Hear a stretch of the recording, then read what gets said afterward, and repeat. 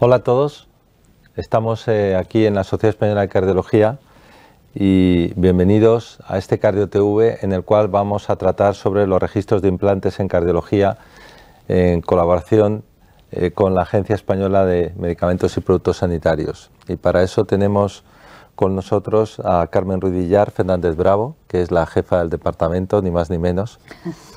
Y tenemos también a, a Marta Pombo, que es la responsable del registro de marcapasos, la coordinadora en la Sociedad Española de Cardiología.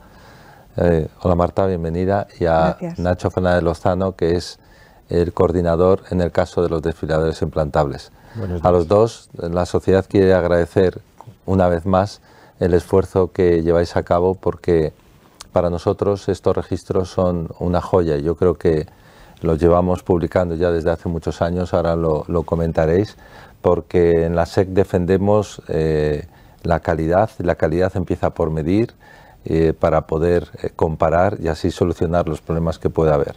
Y le quiero agradecer también personalmente a, a Carmen el que esté aquí. La sociedad apoya, como no puede ser de otra forma, a las agencias independientes que nos regulen, pero eso sí, que tengan en cuenta a las sociedades científicas a la hora de tomar decisiones. Así que sin, sin más preámbulos, eh, yo creo que, Carmen, cuando quieras, nos puedes eh, ilustrar con tu presentación. Perfecto. Pues buenos días. Mm, lo primero, agradecer a, la Sociedad Española de Cardiología, el que cuente con la agencia hoy. Em, tenemos ya un, tiempo eh, conjunto de colaboración la Sociedad Española de Cardiología y la Agencia Española de Medicamentos y Productos Sanitarios. Y, y bueno, esto es un, un trabajo en colaboración eh, adicional y bueno, pues agradeceros el que contéis con, la agencia. Hoy, como comentábamos, pues vengo a hablar un poco de los registros de, implantes desde el punto de vista de, la agencia, cómo están funcionando ahora y lo que deseamos o cómo vemos esos registros de implantes en, un futuro. si pasamos a la, situación actual, em, en la página web de la agencia se puede encontrar un acceso específico para los registros de, implantes. Hoy hablaremos específicamente de los registros de cardiodispositivos, de los registros de marcapasos y, y DAIS, de desfibriladores, pero también en la agencia hay otros registros como el registro de implantes mamarios. ¿El por qué se crean estos registros? Pues como comentaba anteriormente Julián, pues efectivamente necesitamos medir cómo están funcionando los productos, ver ese seguimiento de, los productos para ver cómo, cómo, están en el mercado y cómo están funcionando. Y en otros casos, pues también para apoyar al sistema de vigilancia de productos sanitarios porque necesitamos también poder, en algún caso, identificar a los, a los pacientes, con lo cual disponer de registros que nos puedan dar estos, datos son, eh, son vitales para, el buen funcionamiento del sistema de vigilancia de, productos sanitarios. Y por tanto, pues hoy hablamos un poco más en, detalle y mis compañeros hoy en, en, la sesión pues eh, van a hablar específicamente sobre los registros de marcapasos y de DAIS eh, que son dos registros que han sido los pioneros en, España. Eh, venían ya de, unos registros que tenía la propia sociedad y que en colaboración, porque como os decía, tenemos mucho tiempo conjunto de trabajo entre la Sociedad Española de Cardiología y la agencia, pues se utilizó esos registros que venían de, la sociedad para crear los registros nacionales de implantes, que los datos son propiedad de la, agencia, pero que os voy a comentar ahora cómo funcionan eh, realmente. ¿Qué pone en la legislación? Eh, pues en la legislación pone que los pacientes cuando se les eh, implanta un marcapasos o un DAI, pues van a tener una tarjeta eh, que tendrá una al paciente, otra al centro y otra el fabricante. Y que de esa información se hará la creación de registros nacionales de implantes y se, y se, implementarán. en la realidad, el trabajo que se está haciendo es un poco diferente. Hay una orden específica, eh, una orden legislativa en, la que se crean los registros nacionales de implantes y eh, hay la posibilidad de eh, hacer convenios con sociedades científicas para el manejo de estos registros. Entonces, eh, como comentaba antes, tenemos con la Sociedad Española de Cardiología un convenio desde hace tiempo en el que todo el manejo y la gestión de esos registros, la gestión de, parte de la gestión de las tarjetas de implantación se hace a través de la Sociedad Española de, Cardiología y mm, la propia sociedad elabora unos informes anuales que también pues, se revisan por parte de, la agencia y, tenemos todos los datos de forma anual de lo que eh, se va incluyendo y se va cumplimentando en los registros nacionales. Son registros voluntarios y, siempre hemos visto bueno, pues que son registros que tienen ya mucha, mucha antigüedad, llevan tiempo eh, en funcionamiento y siempre hemos visto un poco más de, participación en desfibriladores y, menos en marcapasos, pero que seguro que em, eh, mis compañeros de, sesión explicarán ellos en las, en las presentaciones. Entonces, bueno, como podéis ver, la legislación comenta eh, cómo se, idealmente cómo se iba a hacer y luego la realidad, pues hemos modificado un poco el, procedimiento con los convenios con las, con las sociedades. Y antes de ir hacia la, a la parte de la situación futura, cómo queremos que sean esos registros, pues ver un poco los problemas que nos encontramos. Lo primero es en el desarrollo y sobre todo, en, si hablamos de desfibriladores y de marcapasos, en el mantenimiento de esas plataformas, porque al final son plataformas que se pueden ir quedando obsoletas, que tenemos que ir actualizando, Em, todo el tema de protección de datos, de, datos de salud, Big Data, pues al final eh, requiere una protección de datos, con lo cual esos requisitos van aumentando también y tenemos que adaptarnos a, ellos. Es importante la difusión de los registros para ir incrementando la participación en lo que eh, la Sociedad Española de Cardiología pues trabaja muy activamente y, lo que es muy importante es eh, la participación de los profesionales sanitarios a través de las sociedades, de las sociedades científicas, las sociedades médicas. Como em, han comentado en la, presentación, es muy importante em, tener esa colaboración con las sociedades científicas, con los profesionales sanitarios, que son los que realmente están implantando día a día estos registros, estos implantes, y con los que nos pueden, eh, o la agencia desde luego confía completamente para la creación de los registros y que sean unos registros útiles. Por otro lado, pues las tarjetas de implantación, em, la experiencia en España, que es el único país donde existen esas tarjetas obligadas por, legislación, pues el cumplimiento no es em, tan ideal como, debería ser. Y, luego mm, lo más importante es que eh, la información que tengamos dentro sea de calidad, que no se requieran demasiados datos que luego a lo mejor impidan que haya más participación y que la información que tengamos sea interesante. Y luego, por otro lado, pues no a lo mejor en estos registros de, cardiología, pero sí que hay otros registros que son jóvenes y que sí que es importante tener un tiempo de, información, de recolección de información para poder ver cómo están funcionando los productos. Cuando hablamos de registros jóvenes, sí que quería aprovechar hoy pues, para contar dos, dos, proyectos nuevos. El proyecto Renacer, que es el Registro Nacional de Dispositivos de Asistencia Circulatoria y Respiratoria, en el que también participa la Sociedad Española de, Cardiología, junto con muchas otras sociedades. Esto ha sido un poco lo más novedoso de, este registro, que hay muchas sociedades implicadas en la implantación de estos de estos dispositivos y por lo tanto hemos contado con, con todas ellas para el diseño. Y por otro lado, estamos desarrollando el registro de cadera y de rodilla, de artroplastia, que es un registro que hemos intentado varias veces ese, diseño y, por fin pues estamos trabajando con, la sociedad de, cadera para poder hacer este registro. Y pasando a la situación futura, porque mm, me parece importante eh, comentar hoy y aprovechar que tenemos hoy este foro que, que posibilita a la sociedad, pues eh, contar que hay una nueva regulación de productos sanitarios. Esta nueva regulación de productos sanitarios incluye una serie de puntos importantes que van a afectar también a los registros en un, en un futuro. Ambas regulaciones, tanto la de productos sanitarios como la de diagnóstico in vitro, ya están en aplicación, ya son de obligado cumplimiento a nivel europeo. Y quería comentar hoy, aprovechar hoy para comentar dos puntos importantes. Los implantes, eh, y ahora que estamos hablando de implantes de cardiología, requerirán todos ellos tener un número de identificación único, es decir, vamos a tener un número que va a poder ser leíble electrónicamente porque llevará un código de barras, un código QRD que eh, nos va a identificar el producto hasta eh, la unidad, hasta el número de, de serie, con lo cual esto es una parte muy importante eh, la, implantación del UDI eh, será obligatoria para todos los productos que ya vayan de acuerdo con el reglamento y como veis aquí, eh, pues bueno, serán hasta el 2025, tendrán tiempo para poder ir añadiendo estos UDIs a los, a los productos, con lo cual podremos identificar cada marcapasos, cada desfibrilador, cada electrodo hasta número de serie. Y por otro lado, otra parte importante que cambia la regulación son eh, las tarjetas de, implante. Como os decía, en España era de los países en los que regulatoriamente ya se obligaba a tener una tarjeta de implantación y esto ha sido algo que se ha incluido en el, en el nuevo reglamento, que se necesita una tarjeta de implante. No solo una tarjeta de implante, sino que también se va a requerir una información que el fabricante va a tener que dar a cada paciente, una información bastante detallada sobre el implante, posible seguimiento del implante para que el paciente sepa que se lleva implantado a, casa. Y lo más importante, esta tarjeta de implantación en la que vienen una serie de datos como el nombre, el número de serie, este UDI, este número de identificación número, eh, única y el nombre y dirección también de la web del fabricante con información adicional. Ya hay una, guía de, tarjetas de implante que vienen ya con un diseño específico.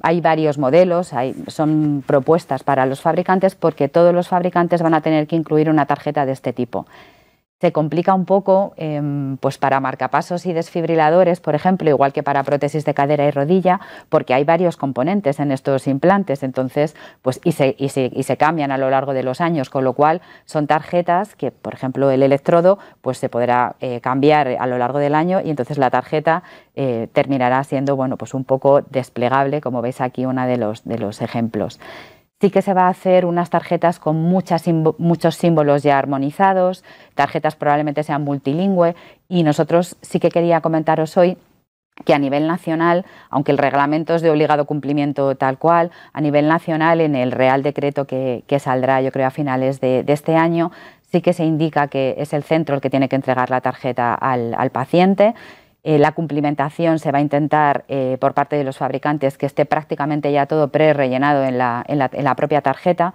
y que sean los datos del paciente lo que tengan que cumplimentar en el, centro. Mm, y, que la información tiene que estar en, castellano. Como os decía, es muy probable que la, mayoría de las tarjetas vengan en multilingüe. Y aquí, y es, ya es la última de las diapositivas que tengo, la propuesta que tenemos un poco es em, para el futuro de, los registros nacionales de implantes, es eh, dado, bueno, pues que sean una obligación, que hasta ahora eran voluntarios, que sean una obligación, pero que desde las autoridades sanitarias pongamos los medios para que esta obligación sea lo más fácilmente eh, cumplible. y por eso en la última diapositiva pongo un poco todas las herramientas que tenemos para conseguir hacer unos registros nacionales lo más automáticos posibles, porque al final tenemos eh, las tarjetas sanitarias eh, con la información de los pacientes, historia clínica, tenemos ese número de identificación único que los centros tienen la obligación de guardar en el centro, en la trazabilidad, lo que han implantado, con lo cual tendrá que estar en la historia clínica o en los datos del centro. Y luego la tarjeta de implantación del paciente. Con todos esos elementos y aquí es donde os digo que es importante el papel de las autoridades competentes, o sea, nuestra responsabilidad de esa coordinación, coordinación con comunidades autónomas, de forma que todos esos datos que ya están en el hospital puedan eh, estar centralizados en una serie de registros que nosotros demos, pero que la carga pueda ser automática. Eh, con ese dato de la tarjeta del paciente, ese dato del UDI, tenemos ya dos puntos importantes para cumplimentar un, parte de los datos de un registro eh, nacional, de forma que tengamos al final pues esa base un poco con todos los datos y que eh, al profesional sanitario, que es donde vemos muchas veces que se complica un poco esa cumplimentación de algunos de los registros, sobre todo los más nuevos que tenemos, pues intentar eh, disminuir la carga de, trabajo a nivel del centro sanitario y poder tener al final pues unos registros nacionales de implantes lo más automáticos posibles. Muchas gracias. Muchas gracias, eh, Carmen. Me ha gustado muchísimo tu presentación y sobre todo esto de automatizar al máximo. Yo lo comentaba antes con Nacho, yo creo que visualizamos dentro de no sé cuántos años, pero que esto va a ser todo automático, que el ciudadano va a tener su historia personal de salud en la nube, en el móvil, como tenemos otras cosas. Y todavía vamos a sufrir un poquito hasta llegar a eso, pero mm, yo creo que las perspectivas que tenéis y cómo las has explicado a mí, tengo que reconocer que me ha gustado mucho. Ahora vamos a hablar de la realidad. ¿no? Yo creo que Nacho me parece que eres tú el que vas a hablar ahora del registro de desfiladores, cómo, de, cómo nos gustaría estar, pero cómo estamos realmente. Cuando quieras. Nacho. Sí, yo voy a bajar un poco la tierra. Empiezo con un comentario, Carmen, porque a mí también me ha gustado mucho tu presentación, pero la última diapositiva que has puesto a los hospitales, el ministerio, la tarjeta, te ha faltado las sociedades científicas que en algunos de los dispositivos. en la parte de hospitales incluye un poco todo lo que es el profesional sanitario en general, pero creo que sí que es importante que las direcciones médicas de los hospitales tengan em, esa sepan esa importancia de poder tener una serie de sistemas que, lleguen a esa, información para tener ese registro centralizado. Sí que es cierto que luego eh, el manejo del registro, el estudio del registro tiene que ser a, raíz, pues bueno, trabajo hecho por las sociedades científicas, por supuesto. Bueno, yo voy a bajar un poquito la tierra, como ha dicho Julián, y os voy a contaros un poquito cómo es la situación del registro de DAI y dónde nos gustaría que estuviera y las incertidumbres que tenemos. Como bien ha dicho él, esto es parte de una de las principales actividades de la SEC, que es medir la calidad. ¿no? La calidad siempre ha sido uno de los objetivos fundamentales de la SEC, porque si no medimos no sabemos lo que estamos haciendo, si no nos comparamos, no nos comparamos con los mejores, no sabemos lo que podemos hacer, no mejoramos y también no acreditamos centros, no certificamos nuestra actividad. Yo creo que ese ha sido uno de los grandes éxitos de la SEC durante las últimas dos décadas, porque llevamos muchos años haciendo esto. Y lo hacemos con los registros, es una de las partes fundamentales, no solo con los registros, pero en la SEC tenemos muchos de ellos y nos han ayudado mucho, el registro de marcapasos, el registro de angioplastias, el registro de trasplante, en el que lógicamente colaboramos de forma activa, los datos del recalcar, que fue una de las formas de saber qué es lo que pasaba con la salud cardiovascular a nivel del Estado. ¿no?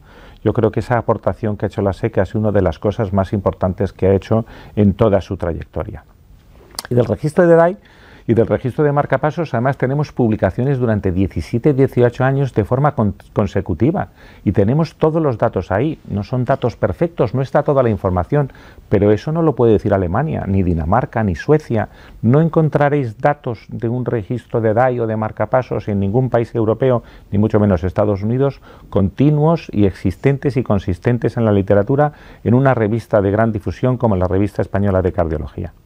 Nosotros, los últimos datos publicados son los del año 2020, que se publicaron a finales del año pasado, y nos marcan la tendencia que tenemos en el implante de desfiladores. Como veis, si aplicamos el gol estándar, que son los datos de Eucomet, los datos que la industria aporta a Europa sobre el número de desfiladores, vemos que cada año hemos ido reduciendo el gap de la información que teníamos de los datos, de manera que en el año 2020 conseguimos reportar en el registro de DAI el 99% de los desfiladores supuestamente implantados en España, con lo cual quiere decir que el grado de cumplimiento que tenemos con los desfis, la verdad es que es realmente alto. Y eso es gracias a que los cardiólogos estamos concienciados de que medir y tener los números es algo importante y a la participación de todas las unidades de electrofisiología del país y todas las unidades de los implantes desfiladores, porque si no fueran todas no alcanzaríamos ese 99% nos permite ver cosas de mucho interés científico.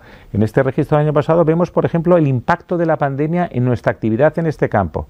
Fijaros, el año 2020 es la curva gris y fijaros cómo tuvimos un efecto estacional muy grande del confinamiento y de la desviación de los recursos en los hospitales para tratar el COVID Nuestros hospitales se convirtieron en hospitales COVID, sobre todo en Madrid, pero también en muchas otras áreas del territorio nacional, y eso es algo que se refleja en los registros, algo tan periférico al mundo del DAI como una pandemia causada por un virus, se refleja en nuestra actividad y de esta manera tener registro nos permite evaluar su implicación y su incidencia en nuestra actividad diaria. ¿no? También vemos cómo son las tendencias, tener registros consistentes, publicarlos cada año nos permite ver qué es lo que ocurre, por ejemplo, en prevención primaria, que nos vamos acercando a los estándares europeos año a año, nuestro porcentaje en población primaria eh, aumenta, nos permite también nuestras debilidades, nuestras fortalezas, dónde estamos con respecto a Europa.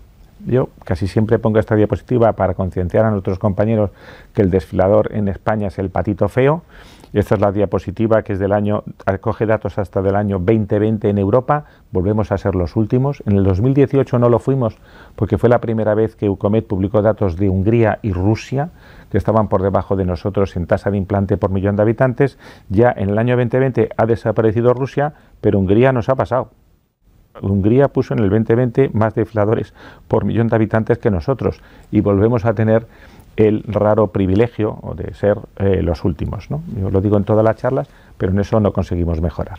Bueno, tenemos los datos en prensa y en análisis del año 2021. Lo único a destacar es que hemos subido la tasa de implantes, hemos recuperado un poquito los datos de la pandemia, nos estamos acercando al 95% de los datos de, de que es lo que queremos tener para cerrar el cierre de la revista, y probablemente uno de los datos que destaca es que la prevención primaria en el año 2021 ha subido hasta el 88,2%. Estos sí que son datos europeos y esto es la primera vez que pasa. Hemos ido cubriendo ese gap, hemos ido acercándonos a Europa y en el año 2021 hemos alcanzado lo que es aproximadamente la media de tasa de implante en prevención primaria que tenemos en Europa.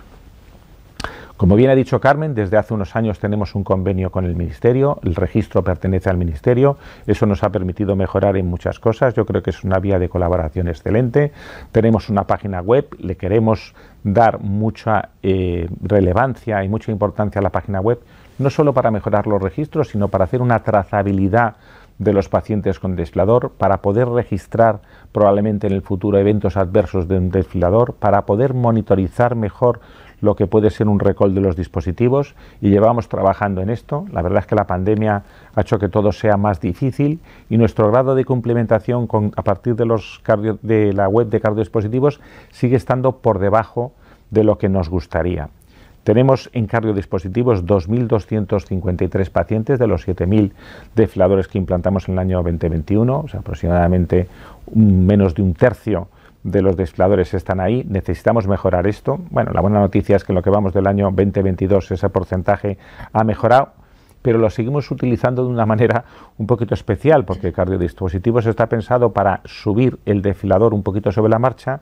Si lo vemos aquí lo que pasa por meses, fijaros como en enero parece que a fin de año hemos hecho cierre y metidos un montón más de desfiladores, no con un carácter prospectivo, sino con un carácter de recolección y de cierre de datos de fin de año. Luego vemos que hay muchos hospitales que han puesto muy poquitos, hospitales muy grandes ahí por aquí, ¿no? le he puesto esta diapositiva así que no se vea mucho, un poquito a posta, pero hay, hospitales que tienen todos sus dispositivos puestos ahí, otros no han probado, han estado, no sé qué, pero hospitales muy grandes que solo tienen uno, dos o tres o cuatro metidos y esto también me sirve para animaros, a los que nos estáis oyendo, a participar en cardiodispositivos y a meterlos eh, los desfiladores en el registro online porque eso nos permitirá mejorar la calidad del registro en el futuro. La gran fortaleza del registro del DAI, el por qué explica que estamos en el 99%, yo creo que en, gran parte se basa en esto.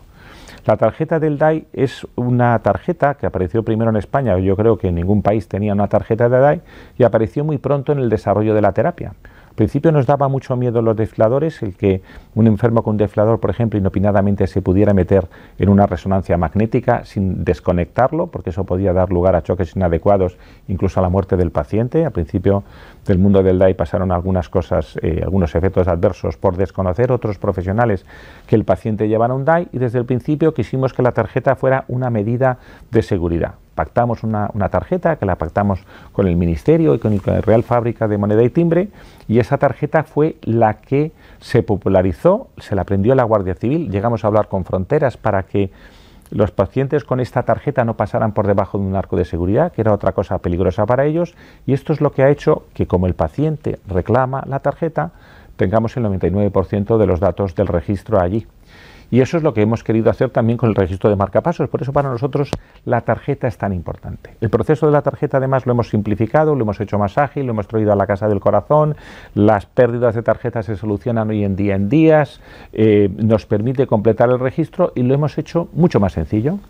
Bueno, ahora nos enfrentamos a, a UDAMET, al cambio del legislativo de los registros, que seguro que aportará muchas cosas buenas, pero eh, abre también un área de incertidumbre que a las que nos tenemos que adaptar. Desde luego, lo que ha explicado Carmen del número único es un avance muy importante, porque el número de serie de los dispositivos es los que hemos utilizado siempre para cumplir con la ley de protección de datos y anonimizar nuestros datos de los pacientes entre el Ministerio, entre nosotros, entre los hospitales, y cuando uno hace un registro y mete 7.000 o 20.000 pacientes en un registro, se da cuenta que algunas casas ponen el mismo número de serie en dispositivos diferentes. Eso no es grave en un paciente porque no le vas a poner un marcapasos, un DESFI y un REVIL al mismo paciente a la vez, pero para un registro sí que es muy importante. O sea que el UDI sí que es un avance fundamental. Bueno, otras cosas, Eudamed tiene, es un proyecto muy ambicioso de notificación de eventos adversos. Vamos a ver cómo, cómo rula esto, cómo se desarrolla. Yo creo que tiene mucha potencialidad. Tenía un esquema temporal que ya se ha modificado un poquito por el COVID, que se ha ido adaptando a los tiempos. Eh, yo creo que las casas no son muy conscientes de dónde, cuál es su nivel de implicación y qué es lo que tienen que hacer. Yo cuando salió esto de Udamete tuve varias conversaciones con ellos y la verdad es que unos están más enterados, otros menos. Las tarjetas, eh, este es un ejemplo de tarjeta muy parecido al que ha puesto Carmen. Solo una casa de las que nosotros trabajamos con ellos me ha podido dar una tarjeta, un modelo de tarjeta de lo que ellos van a usar. Otras bueno, pues se están adaptando, están esperando normativas europeas, les ha abierto también un área de incertidumbre, quién rellena los datos del paciente, cómo se complementa esto, en qué base de datos está. Esto también nos abre una vía de oportunidad porque nos va a permitir probablemente automatizar el proceso, simplificarlo, poner con lectores que vaya directamente la, la información a los registros y si trabajamos bien puede ser una oportunidad para que los registros tengan mejor seguimiento y tengan mejor calidad. Bueno, esta es mi última diapositiva. Resumo un poquito lo que yo creo que debemos hacer. Tenemos que seguir con la monitorización del sistema de recogida de datos desde carácter prospectivo a prospectivamente en la página web. Tenemos que tener un acuerdo con las casas de cómo adaptar la normativa de manera que la cumplamos íntegramente, por supuesto, pero que eso también nos permita aportar esa información a nuestros sistemas de registro y de información para hacerlo más fácil de adaptarnos a la estrategia Euramed, también incluir otros dispositivos que ahora son minoritarios, pero que tenemos algunos dispositivos como los, el Barostim o los, eh, los, dispositivos de modulación cardíaca que se implantan en España muy poquitos, pero que es posible que eso crezca en el futuro y que nos ofrece una oportunidad también para incorporarlos de manera prospectiva y hacerlo mejor. Y si eso funciona con pocos pacientes, que los que tienen estos dispositivos, exportar esa nueva metodología de trabajo a los marcapasos, a los desfiladores, a dispositivos de más número, yo creo que eso es una oportunidad y bueno, lo que tenemos que hacer es seguir trabajando, seguir midiendo y seguir aportando calidad a nuestra práctica clínica. Muchas gracias, Nacho. Muchas gracias. Yo creo que los desfiladores, como son bastante menos que los marcapasos, yo creo que es más difícil el registro de marcapasos. Así que cuando quieras, Marta. Muchas gracias, Julián. Efectivamente, yo creo que el tema de los marcapasos es más complejo y el, registro, bueno, pues no alcanza los niveles del registro de desfibrilador, ¿no? Bueno, como ya habéis dicho, en España, hay una gran trayectoria de, registro de dispositivos. Desde el año 97 se publican anualmente los datos del Registro Nacional de Marcapasos, que describe la actividad de la estimulación cardíaca en España cada año. Este es el último informe publicado. Actualmente estamos ya trabajando en los datos del 2021 y algunos de estos datos son los que os voy a exponer a continuación. Bien, ¿cuáles son las fuentes de información que nosotros utilizamos para elaborar el informe del registro? En primer lugar, para las cifras totales de implantes y altas en monitorización remota necesitamos la información que las compañías proveedoras nos dan cada año. Los datos poblacionales obviamente los extraemos del Instituto Nacional de Estadística, que comunica la población a 1 de julio del 2021. Los implantes en Europa, como ya ha dicho Nacho, eh, los obtenemos de Eucomed. Y luego tenemos una serie de datos demográficos, clínicos, de tipo de procedimiento, de características del material implantado, que los obtenemos de tres fuentes principales. Por una parte tenemos cardiodispositivos, que ya se ha comentado, que es la plataforma propiedad del Ministerio que gestiona la SEC y en la cual se pueden introducir los procedimientos de tres formas. Uno, a través de entradas directas de los centros implantadores. En segundo lugar, por la integración de aplicaciones de las empresas proveedoras que, bueno, que se vuelcan en la plataforma y luego la migración de bases de datos de centros que a través de PERSEI comprueba los datos y también se vuelcan en la plataforma. Pero sigue habiendo muchos centros que envían la tarjeta europea física al registro y también centros que envían, que envían las propias bases de datos, las bases de datos locales. Y bueno, pues vamos a hablar ya un poquito de la realidad del 2021, la cifra de implantes. Concretamente se han implantado cerca de 39.000 marcapasos convencionales, lo que supone un aumento del 8,3% con respecto al año previo. Todos sabemos que el año 20 fue un año de pandemia en el que se disminuyó la cifra de dispositivos implantados. Y eh, si tenemos en cuenta la población a 1 de julio del 2021, en torno a 47.300.000 habitantes, la tasa de implante de marcapasos convencionales del 2021 está en torno a las 822 unidades por millón, el 75% de los cuales corresponde a primoimplantes. Bien, por comunidades autónomas vemos cómo el Principado de Asturias, Castilla, León y Galicia son las comunidades que más implantan, con una tasa de más de mil unidades por millón, probablemente por una población más envejecida en, estas eh, comunidades, mientras que en el otro extremo tenemos a Canarias y a la Comunidad Foral de Navarra, que implantan poco más de 700 unidades por millón. Con respecto a la terapia de resincronización cardíaca, ha habido un aumento en la cifra, cifra global de TRC de en torno a un 8,9%, si bien este aumento es a expensas fundamentalmente de la TRCD de alta energía, mientras que ha disminuido en un 1,1% la tasa de TRCP implantada. ¿El por qué? Bueno, pues probablemente por la irrupción de la estimulación fisiológica que ha hecho que en muchos laboratorios se esté desplazando a la TRC convencional en pacientes con indicación de resincronización cardíaca. Bien, si nos fijamos en las tasas eh, de resincronización cardíaca, la tasa total nacional está en torno a los 89 unidades por millón y de TRCP en torno a 31 unidades por millón. La mayor parte de comunidades se mueven entre 20 y 30 unidades eh, por millón al año y tenemos eh, Cantabria que destaca con 103 unidades por millón y la región de Murcia y Aragón que tienen unas cifras en torno a los 15 unidades por millón implantadas.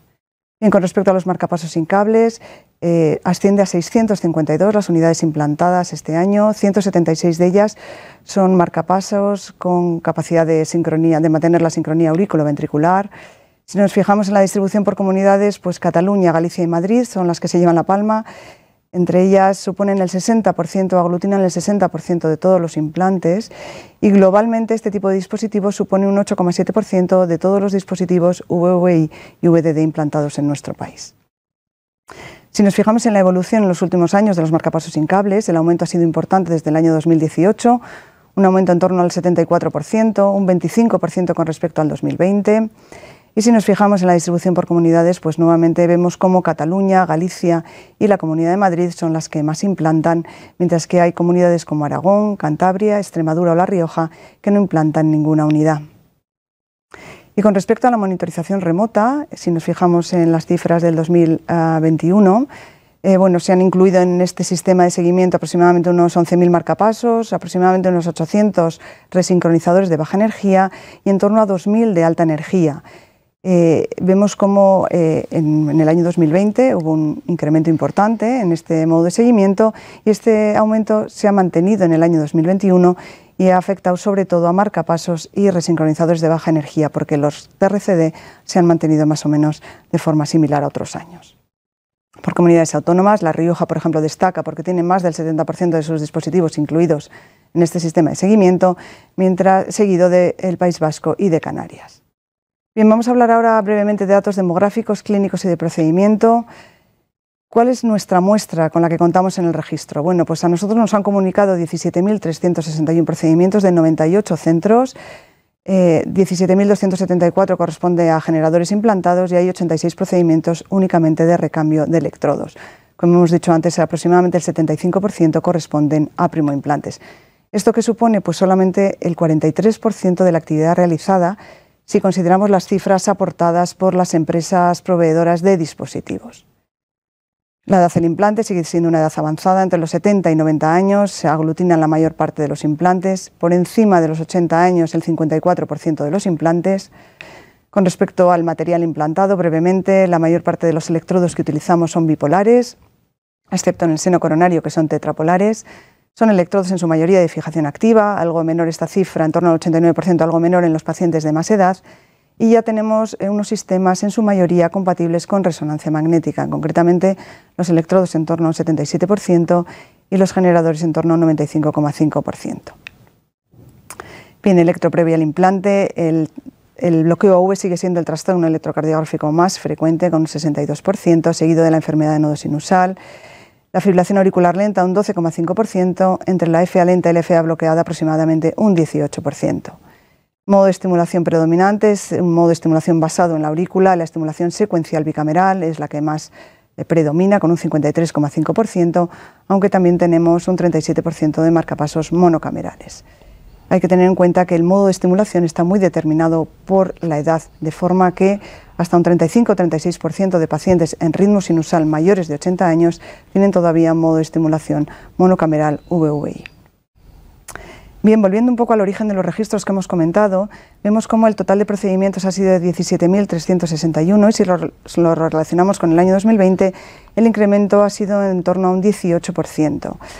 Ahora bien, eh, ¿cuál es el origen de estos registros? Bueno, pues las tarjetas europeas prácticamente no han variado, en torno a 8.000 tarjetas se reciben anualmente. Las, bases de datos propias de los centros sí que han aumentado de 659 a 935 y las entradas en cardiodispositivos sí que han aumentado un 40% aproximadamente, si tenemos en cuenta no solamente las entradas propias de los centros, sino también eh, los procedimientos incluidos mediante integración y migración de bases de datos locales. Ahora bien, ¿esto podemos considerarlo suficiente? Bueno, pues está claro que no, está claro que no y esta debe ser nuestra área de mejora. ¿no? Nosotros en el tema de marcapasos necesitamos aumentar la calidad y la fiabilidad de los datos del registro y lo que necesitamos es aumentar el número de procedimientos comunicados, pero no de forma general, no tarjetas físicas, no bases de datos locales, sino a través de cardiodispositivos. ¿Y esto para qué? Bueno, pues porque esto nos va a permitir, como digo, aumentar la fiabilidad y la calidad de los datos, porque va a facilitar el análisis y la interpretación. Claro, cuando tenemos tantas fuentes de información, pues realmente es muy complicado hacer el análisis. De esto se encarga mayoritariamente el Departamento Informático de la SEC, pero realmente es un trabajo mm, de titanes. Y luego debe servir también eh, bueno, pues para conseguir el objetivo de la plataforma, ¿no? o uno de ellos, que es servir como vigilancia de un sistema de vigilancia de los productos implantados. ¿Y cómo lo vamos a hacer? Bueno, pues este es el, caballo de batalla. ¿no? Tenemos que progresar en la integración de plataformas y en la migración de bases de datos locales habría que aumentar las entradas por parte de los centros implantadores. Carmen, has comentado que el tema de los registros es voluntario, pero bueno, luego sí que es obligatorio tener una tarjeta, sí que es obligatorio que, bueno, pues que, conozcamos qué dispositivo lleva implantado cada persona. Entonces, bueno, nosotros desde... Desde la Asociación del Ritmo eh, estamos actualizando ahora mismo el sistema de acreditación de centros de marcapasos y vamos a intentar que sea obligatorio que el centro incluya los datos en cardiodispositivos. Luego el tema de la tarjeta, bueno, pues es un tema que tenemos que valorar. Bueno, la tarjeta que fuera ligada a cardiodispositivos ayudaría a una mayor cumplimentación, pero bueno, es verdad que ahora con los nuevos cambios eh, la tarjeta, bueno, pues digamos que va a ir de forma un poquito independiente a los registros, ¿no? Y bueno, pues eh, eso era un poquito lo que quería comentar. De conclusiones yo diría que aumenta en el 2021 la tasa global de marcapasos convencionales implantados, aumenta la tasa de TRC total a expensas de la TRC de alta energía porque la TRC baja, probablemente por la estimulación fisiológica, aumenta en un 25% la cifra de marcapasos sin cables, el bloqueo V sigue siendo el trastorno electrocardiográfico más frecuente y la estimulación basada en la aurícula el modo predominante de estimulación. Predominan los dispositivos compatibles con resonancia, la monitorización remota es el modo fundamental de seguimiento, es un modo fundamental de seguimiento y el incremento ha sido fundamental en marcapasos y TRCP y aumenta el 40% el número de procedimientos introducidos en cardiodispositivos, aunque es un número, como hemos dicho, todavía insuficiente. Necesitamos mejorar la calidad de nuestro registro. Muchas, gracias, muchas gracias Marta. Bueno, eh, yo creo que tenemos unos minutos, si queréis, alguno para hacer algún comentario. yo empezaría, eh, Marta, eh, diciendo, lo has comentado muy bien, ¿eh? las cosas incluso que tú mejorarías, pero vamos a imaginar el, poder, lo tiene Carmen, ¿eh? pero imagínate que tenemos nosotros poder. Todos, es compartido. Que, te otorgan poder y tú puedes tomar decisiones y hacer algo obligatorio. ¿Qué es lo que, qué es lo que harías? ¿Qué, decisión tomarías? Hombre, yo haría obligatoria la, la, complementación de cardiodispositivos y luego lo que sí que creo que una tarjeta física o, virtual, pero derivada de la complementación de esa plataforma, ayudaría a que la gente introduzca los datos en, la plataforma. Yo creo que al final, eh, bueno, es una carga de trabajo la que tenemos todos en nuestros centros, de cada uno tenemos nuestras bases de datos, hay que rellenar muchísimos muchísimos datos de cada paciente y, bueno, pues esto puede ser un plus de, complejidad o de, carga de trabajo, ¿no? Entonces, bueno, la migración está bien, pero, pero es verdad que, eso es un proceso que va lento y la obligatoriedad de la complementación yo creo que, bueno que, tendría que ser, ¿no? Que el trabajo, hay que recalcar que el trabajo que hay detrás de los registros es, es extraordinario, eso mm. es mucho, mucho trabajo. Yo solo clarificar que el nuevo Real Decreto lo pone obligatorio. O sea, ya esa voluntariedad que también eh, sí que os soy sincera, es obligatorio también notificar incidentes con productos sanitarios, incidentes graves y, aunque sea obligatorio, o tienes el compromiso, o tienes la dedicación del profesional sanitario, o, no, lo, no lo hemos conseguido. Yo por eso em, aprovecho cada foro que nos dais para decir tenéis que notificar los incidentes. Y el registro puede ser una vía para, para ello. Eh, sí que es cierto que nosotros la idea que tenemos es, como decía eh, perfectamente la doctora Pombo, hemos, em, tenéis que hacer rellenar muchísimos datos en la historia clínica del paciente. Em, la idea que nosotros tenemos, y yo creo que a lo que tenemos que ir, es que esos datos que vosotros rellenáis eh, con el dato del paciente eh, vayan directamente a, ese registro, a ese registro de forma que, em, bueno, pasa por ejemplo con el registro de, de cadera y de rodilla del registro catalán, que en realidad eh, son, son las desde la historia clínica con el dato del paciente y se complementa el registro. Y puede ser una forma en la que no eh, va a ser obligatorio, pero que no requiere mucho más trabajo por parte del profesional sanitario y podemos eh, descargar toda esa, esa información.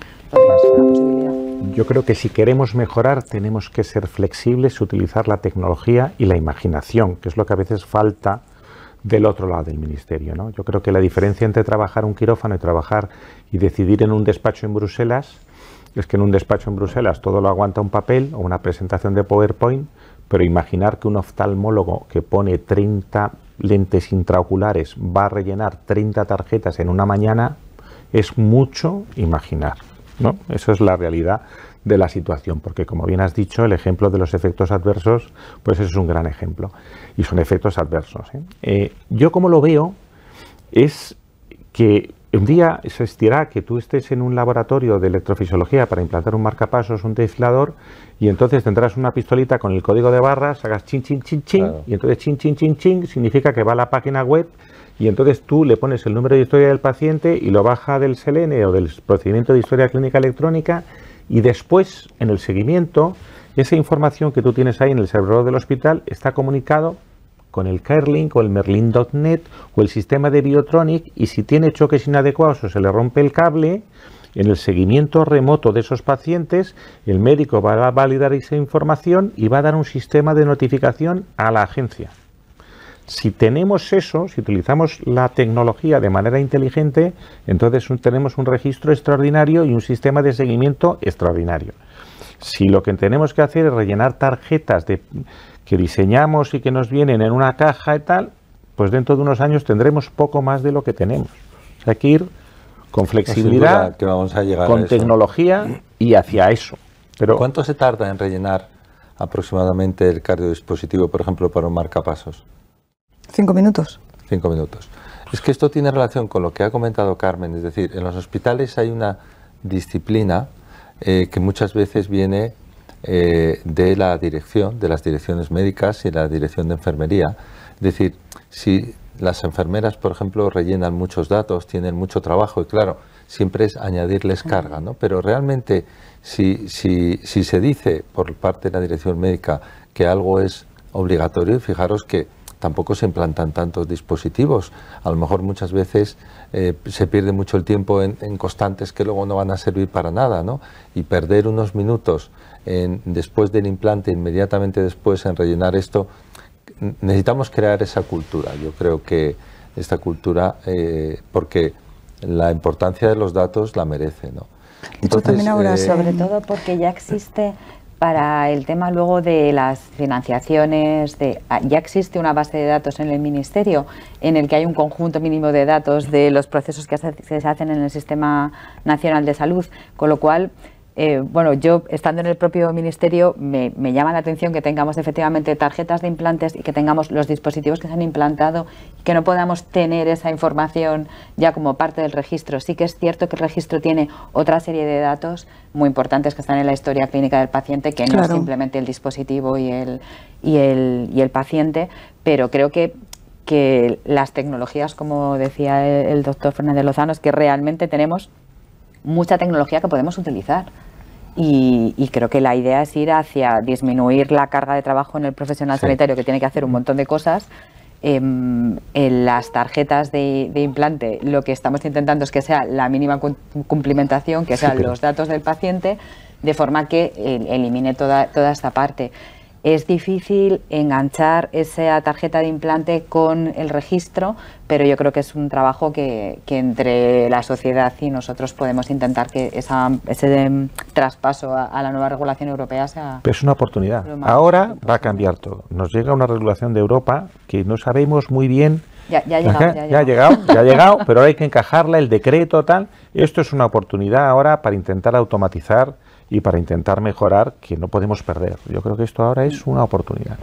A mí me parece que de las cosas que habéis dicho, hay que defender, la, y lo defiendo, y lo defiende la sociedad, la experiencia del profesional, en el sentido de que los profesionales nos tenemos que dedicar a, los a lo que nos tenemos que dedicar, tanto los médicos como la enfermería, y entonces muchas veces nos sobrepasan con una cantidad de trabajo añadido burocrático que todo lo que podamos restar desde ese punto de vista va a repercutir en la satisfacción de que estemos a gusto trabajando. ¿no? Así que yo creo que, Carmen, si quieres tú comentar algo que te gustaría de las sociedades científicas, un poco por, por completar lo que han dicho Marta y lo que han dicho pues eh, desde luego la experiencia de la agencia con, con, la SEC, porque fue la primera sociedad científica con la que tuvimos un convenio, con la que tuvimos esa colaboración, siempre ha sido muy positivo, no solo por la organización que tenemos para el registro de implantes, sino porque la agencia al, final se, apoya mucho en, las sociedades científicas. Eh, para el registro de implantes, por supuesto, para eh, acciones correctivas que hay que hacer, alertas que hay en el, en el mercado y que pedimos eh, pues, el punto de vista de un experto. Em, como decía muy bien Ignacio, pues nosotros estamos en la agencia, y nos falta un poco el día a día, la realidad de, de, mm, las personas que están implantando esos productos. Entonces, a nosotros nos parece muy importante contar con, esa, con, ese valor eh, añadido que nos dan las sociedades y los profesionales sanitarios y sobre todo también pues para, para hacernos ver como agencia en el que si hay alguna cosa que modificar, eh, venid a nosotros y, en colaboración pues yo creo que podemos conseguir, conseguir algo. Yo creo que las, las sociedades científicas sois los que tenéis el, conocimiento, eh, nosotros luego somos los que tenemos que regular y en el mundo de los productos sanitarios, eh, y creo que lo ha comentado muy bien Marta, es que la innovación viene de productos sanitarios. El cambio gordo que va a haber, el cambio grande que va a haber en innovación va a ser en productos sanitarios en la telemonitorización, los marcapasos sin cables y, hay que tener en cuenta que son productos que llevan una investigación clínica antes de llegar al mercado, pero cuando llegan al mercado es donde está ya la vida real, donde se implanta en la población en general y tenemos que hacer ese seguimiento muy importante. Por lo tanto, ahí es muy importante tener el feedback de los profesionales sanitarios, esa colaboración con las sociedades médicas y con la agencia para poder identificar si hay un problema gordo con un, con un producto, un problema que pueda, pues eh, con algún marcapasos sin cables, tuvimos algún... Mm. Entonces, identificarlo lo antes posible. Para eso, muy importante los registros, muy importante la notificación de incidentes. Pues muchas gracias, Carmen. Te tomamos la palabra porque, como muy bien ha apuntado, apuntado Nacho, se te había olvidado lo de las sociedades científicas. porque, porque ya daba por supuesto que la colaboración era algo que, soy, que teníamos siempre. Muchas gracias, eh, Marta y Nacho. Muchas gracias por vuestro trabajo. Enhorabuena, porque a ver si Marta, a ver si consigues igualarte al 99% de datos de Nacho que, que entre el COVID y las tarjetas. Pero sabemos que detrás hay un trabajo enorme y desde la sociedad os estamos muy, muy agradecidos y os animamos a que, a que sigáis. Muchas gracias a todos y esperemos que os haya resultado útil. Gracias. Gracias.